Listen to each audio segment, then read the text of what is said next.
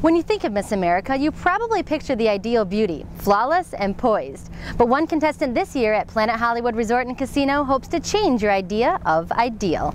Miss Delaware, poised, talented, bald. And it started when I lost my eyelashes, and then my eyebrows, and then my part started to widen on the top of my head. At age 10, Kayla Martell was diagnosed with alopecia areata, a rare autoimmune disease causing the body to attack its own hair. But at age 21, she was crowned the new Miss Delaware and will compete to become Miss America in Las Vegas while wearing a wig.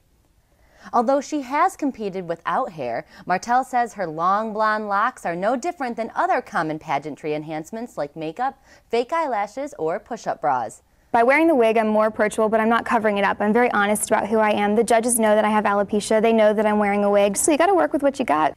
As Miss Delaware, Martell makes several television appearances as a bald woman and rarely wears a wig in her everyday life, bringing the issue of alopecia and hair loss to the forefront. I think it's wonderful what she's doing and to say that, you know, it is only hair. You're still beautiful inside and out. Boville knows firsthand what Miss Delaware is going through as she started losing her hair at age seven. Other than having no hair, there's nothing wrong with me. I can do anything anybody else can do. You know, I'm not dying.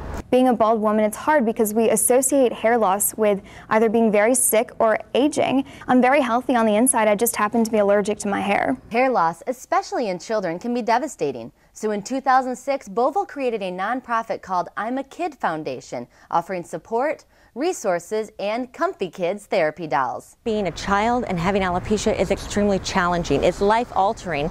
You know, we will donate these dolls to the children in need that can use them, as well as to go into schools and educate the public on hair loss in children. So when you have a child come into your class, they don't get teased and ridiculed for not being, you know, like everybody else and having hair.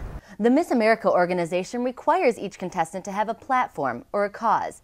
Miss Delaware says living with alopecia every day makes her a better advocate for the disease and a role model for children. So I even had a girl send me a message the other day saying that she decided to go to school without wearing her wig. It brought me to tears. I was sitting in my room reading that and I just realized that even if it's just one person, I'm I'm making an impact and that's what this is all about. I am going to watch the pageant. I fully support Miss Delaware. I love her platform and I wish her all the best.